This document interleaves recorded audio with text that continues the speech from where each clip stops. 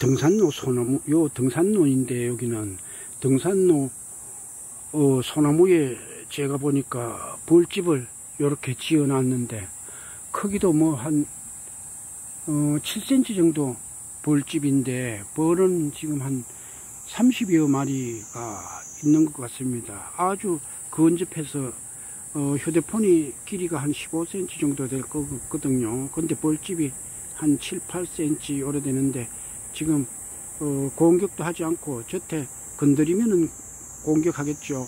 아우 벌 무서운데 저는 뭐 벌을 좀 이렇게 잘 알기 때문에 지금 아주 건접 지금 촬영을 하고 있습니다.